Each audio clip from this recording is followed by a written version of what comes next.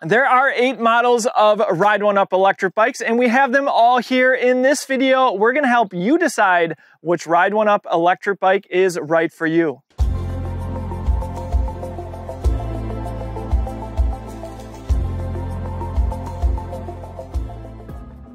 Hey everyone, Ryan from eBike Escape. And JT from eBike Escape. And one quick favor before we get to all these models, if you are looking to purchase any Ride One Up model, please consider using the links down in the description.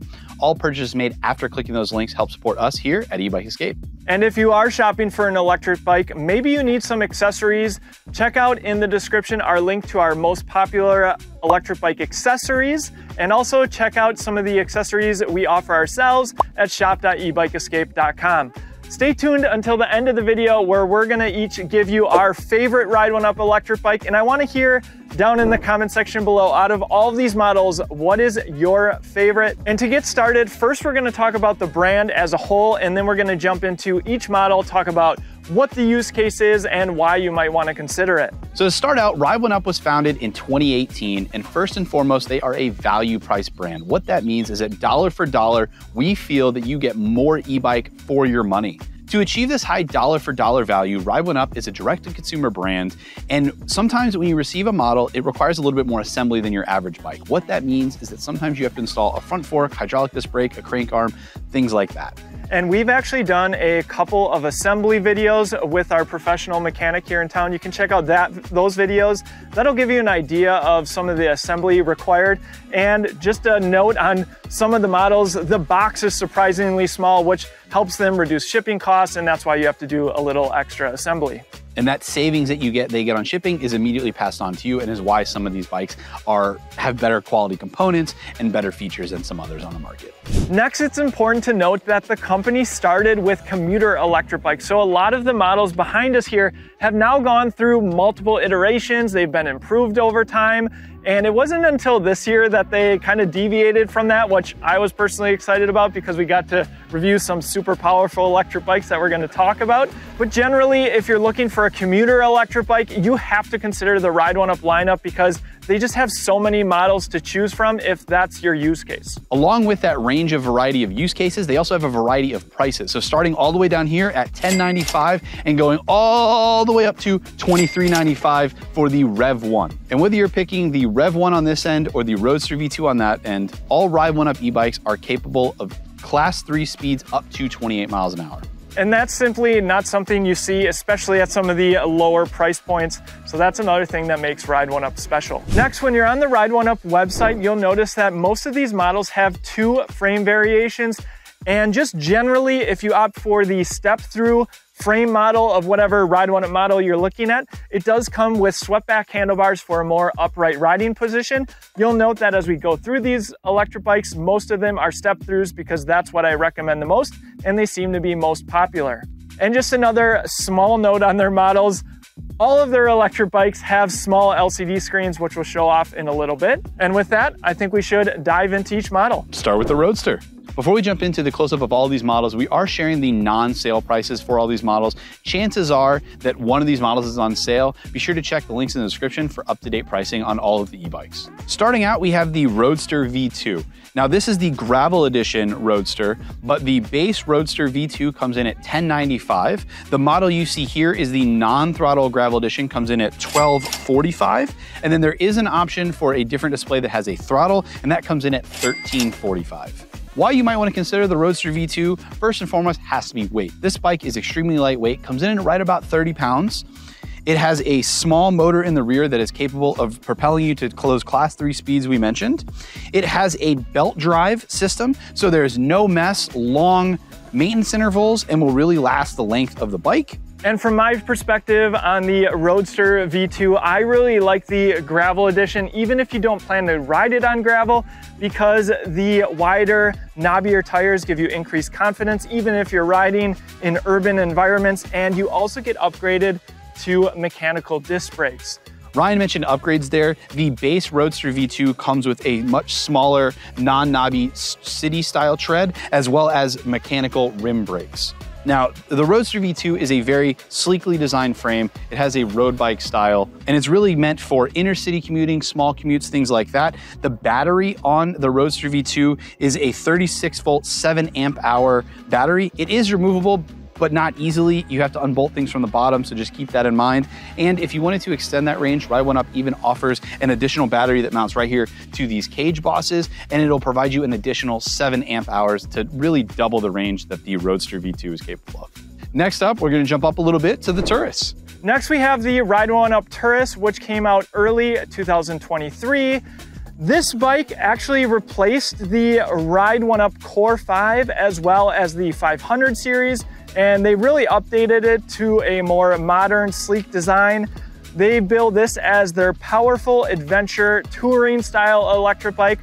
I really view this as their most entry level commuter style electric bike that still has some nice upgrades. The bike comes in at $1,295, so you're getting a lot of value with this electric bike. You can see we have the step through, which is more of a mid step. And again, as we mentioned, this bike comes with the nice swept-back handlebars for a more upright riding position. Now the main specs of this bike is it has a 750 watt sustained motor paired with a very nicely 12.8 amp hour battery. The Turris also adds front suspension and one thing that I really like about this bike when they announced it is that it comes with Zoom hydraulic disc brakes, simply a feature that you don't often see at this price point. You also get a couple accessories like the metal fenders, front and rear, and as well as a integrated front light. The LCD screen is their simple black and white display monochrome. And like a lot of the Ride One Up models, it has a left-hand thumb throttle. And the reason Ride One Up is calling this a little bit more of their adventure style electric bike, yes, it has the front suspension, but it also has these really nice Kenda tires, which have some knobs on here. So if you wanna go and do some light off-roading, perhaps some crushed gravel paths, this might be the bike for you. Next up, we have the Ride One Up Cafe Cruiser, priced at $15.95. They describe this as an upright, casual electric bike and in my opinion, this is probably one of the most underrated electric bikes in the Ride One Up lineup. It certainly has a lot of unique features compared to some of the other models. It comes with a 750 watt motor with 60 Newton meters of torque, like a lot of the models that we're gonna talk about today. And I should also point out on this specific Cafe Cruiser, we have quite a bit of accessories. We have some handlebars here, because Ride One Up sells a passenger pack. It also has a Thule Yepp Maxi window. This rear rack has a capacity of 150 pounds, which makes it unique for carrying cargo. We also have some optional accessories like a mirror and a bell and actually a stem riser here to put the rider in even more of an upright riding position for perhaps taller riders. But on the note of accessories, let me grab the battery, which is not in. Maybe you're traveling with a Ride One Up electric bike check out the bike case battery bag that's waterproof and fire resistant. You can check it out at shop.ebikeescape.com. And the smaller bag of the two fits the 15 amp hour battery absolutely perfectly. The battery sits very nicely into the frame. So they've really thought about comfort on this electric bike. We have 26 by 3 inch wide tires, which give you much more stability on the road. I really like this tire size. You obviously have the front suspension as well. I already talked about the very swept back cruiser style handlebars, which really set it apart from the rest of the lineup. This is the mid step version, but you also can get it in the high step. And overall, this is an electric bike for cruising along, but can also double as a cargo electric bike with its highway capacity. So check out the uh, Ride One Up Cafe Cruiser. Next up in the Ride One Up lineup, we have what we consider the fully loaded commuter, the 700 series. This bike comes in at $16.95. What you get for that price point is you get a included rear rack, front and rear light. You get a hydraulic front fork. You get very nice city treaded tires here, metal fenders, Tektro hydraulic disc brakes, a color LCD display. The mirrors are not an included accessory, just something we have on this as well as you get a very accessible step-through frame here. This goes quite a bit lower than the mid-step we saw in the Cafe Cruiser and the Turris for that matter. So if you need a little bit more of a step-through frame, this is gonna be a much better option for you. We have a 750 watt rear motor, which is capable of producing 60 newton meters of torque. You also get a slightly upgraded Shimano Acera rear derailleur, and the battery that comes included on the 700 series is a 15 amp hour battery. A few other things that I'll call out. This is the step-through model, so we have the nice swept back handlebars. You also get an adjustable stem. And I just want to reiterate the Shimano Acera derailleur because that's just something that Ride One Up likes to do is you just get slightly better components. Again, with the shifter, you're not getting the super basic Shimano SIS Index shifter. This is a trigger shifter that we see on a lot of the models from Ride One Up. Instead of stepping up, we're actually gonna step sideways to talk about the Ride One Up Limited. So this e-bike comes in at the same price as the 700 series, $16.95, but what you get for that is you get a torque sensor. Now that's a big change from your typical cadence sensor. For anybody that doesn't know, the difference between a torque sensor and a cadence sensor, a cadence sensor is like an on-off switch. So if you're pedaling, the bike is providing power, where the torque sensor is actually capable of measuring the amount of strokes that you're putting in and amplifies that based upon what pedal assist level you're in. What that translates to, to sum it all up, is you get a more push pedal bike feeling versus an on-off cadence system of the other e-bikes. It really provides, if you're a cycler, provides a much more intuitive and comfortable riding experience. The other thing that sets the Limited up and out is gonna be this air front fork. Every other bike has a hydraulic front fork, and so it's not really adjustable. It does have some dampening adjustment that you can tune, but an air fork can really be dialed into the terrain or the rider with a lot more ease by just changing the air pressure. Other than that, the Limited is set up to be a great commuter bike. It does not come included with rear fenders, but it does come with some really nice WTB Groove E City treaded tires. And then there's the motor. So the motor on the Limited is also a 750 watt motor, but it's capable of producing 95 newton meters of torque. Be sure to reference our review of this bike that I rode, it was really a fairly robust motor and it had no problem getting me up the hill on throttle power alone or by pedaling, of course. Some other things you get with the Limited are gonna be Tektro hydraulic disc brakes. Quick note, these do not have motor cutoffs. On torque sensor e-bikes, we don't tend to see motor cutoffs as the torque sensors are very sensitive and they're capable of cutting the power more quickly than you can on a cadence sensor. You do get a trigger shifter like we found on the 700 series, a color LCD display, and locking ergonomic grips, as well as we have with the step through a swept back handlebar set versus the typical high frame that you would see this bike would come with straight handlebars. And then coming down here, we have a nicely integrated top exit battery. This is a 14 amp hour battery, just a little bit smaller than what we see on some of the other Ride One Up models. But being that you have a torque sensor on this e-bike, it's gonna be able to adjust the power more quickly. So you should be able to get equal or just a little bit more range than you do on a typical Cadence e-bike. Overall, we think the Limited is really gonna be the right choice for you if you value the pedaling experience that the torque sensor can provide, as well as a adjustable front fork with that air suspension front fork. And this may be more than other electric bikes at its price point with that air fork. You might not want to use these more city-oriented tires, but I have seen people upgrade these to more knobbier tires to make it more capable off-road, and that's helped by the air suspension fork, which is a higher quality component. Next up, we have the Ride One Up Rift and is really any e-bike company complete without a fat tire electric bike. This was Ride One Up's second foray into different models out of commuter electric bikes. Of course, this is the bike that you're going to buy if you want to basically do anything adventures off-road. You can also use it for commuting. Some people just love the look of fat tire electric bikes, which I can't blame them. And in true Ride One Up fashion, it comes in at a price of $18.95 where you're getting a lot of value. This is the step-through version of the Rift, which is very accessible. The main highlights though of the Rift and what differentiates it from other fat tire electric bikes is one, the motor, 750 watts. I don't know what it's peaking at, but check out our full review because it is very powerful and handled our hill climb test with ease. The other thing you get is this nicely integrated rear rack with a high weight capacity of 150 pounds so you can carry lots of cargo. And another thing that set this electric bike out from other fat tire electric bikes are these LBN quad piston hydraulic disc brakes.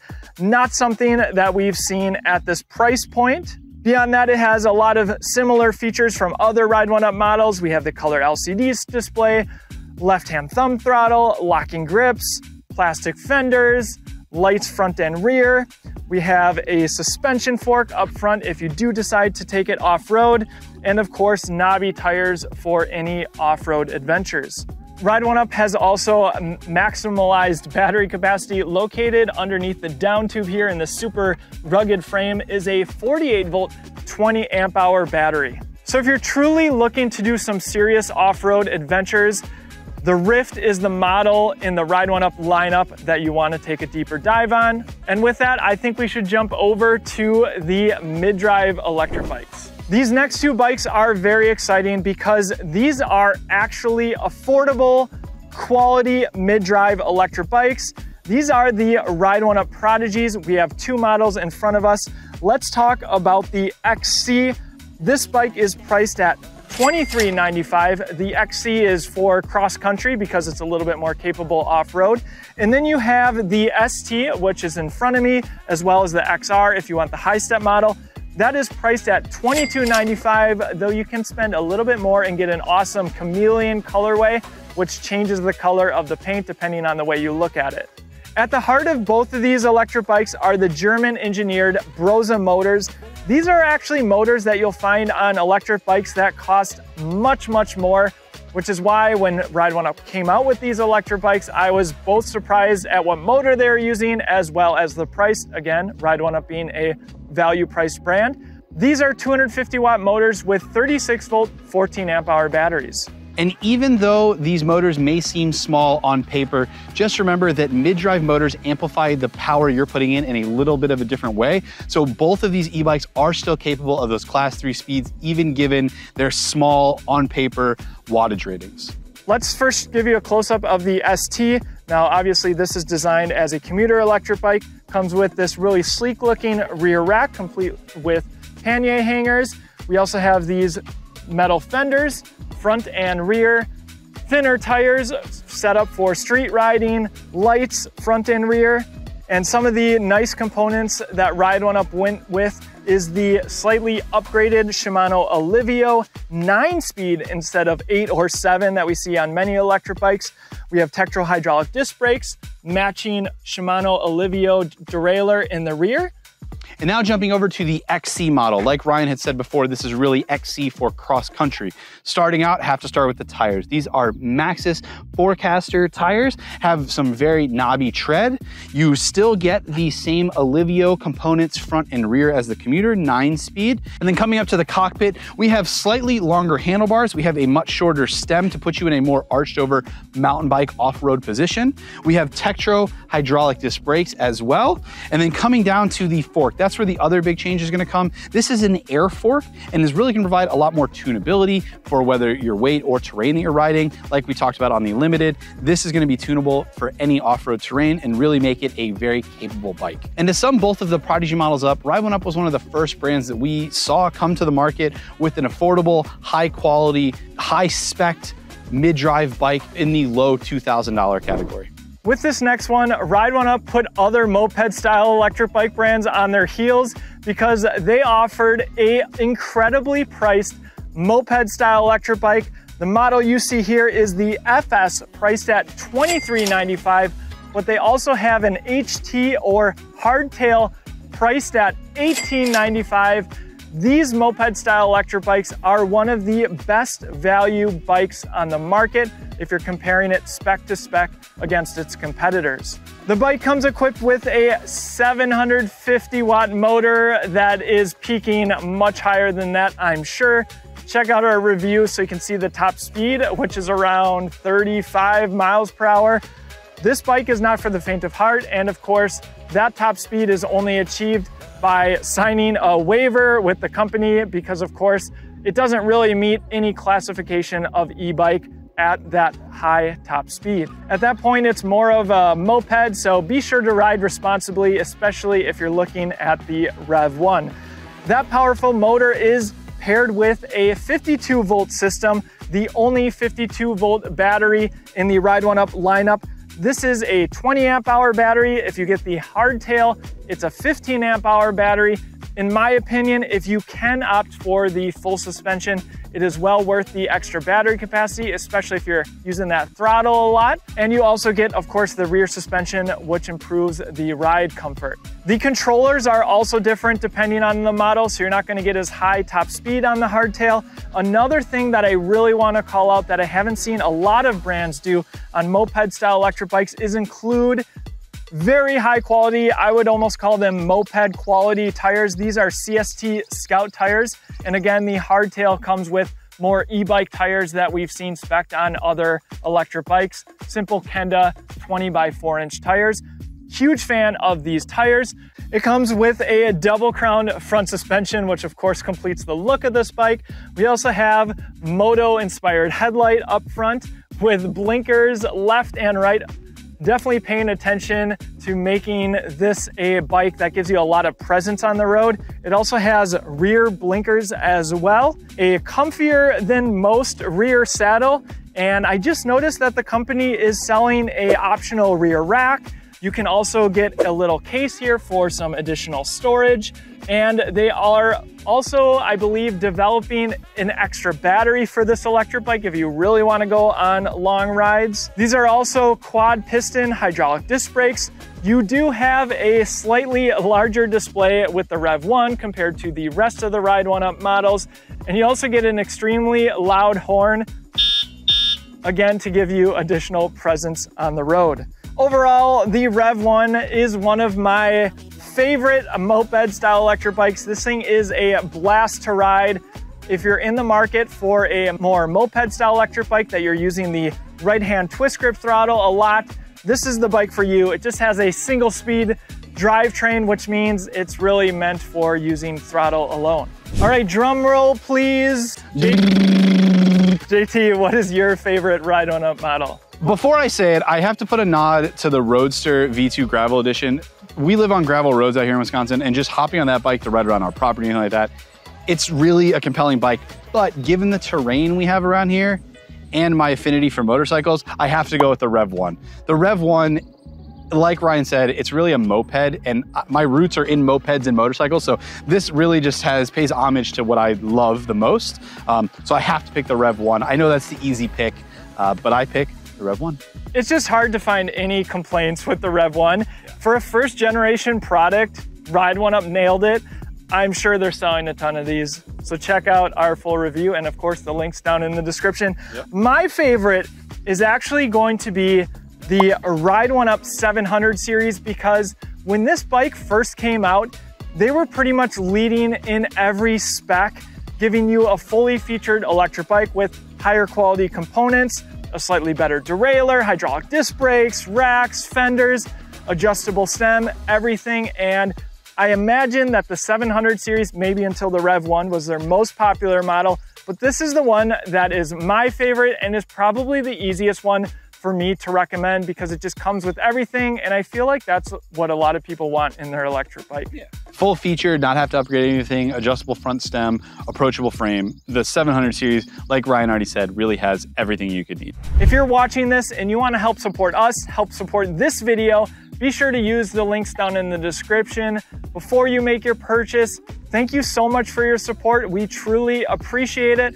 Let us know your favorite Ride One Up electric bike down in the comment section below. Thanks for watching, and we'll see you in the, see next, you guys in the next one. one.